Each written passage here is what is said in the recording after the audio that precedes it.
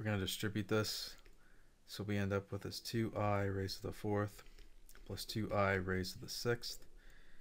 This simply becomes 2 times 1 and this can be broken down to 2i raised to the fourth and i raised to the second. This becomes 1 and then this becomes negative 1 so what we end up with is 2 plus negative 2 which is equal to 0.